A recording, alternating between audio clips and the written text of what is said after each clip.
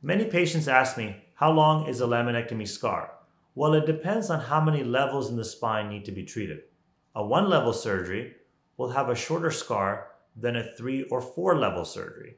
It is important to also be aware that the surgical scar or incision is only half the story.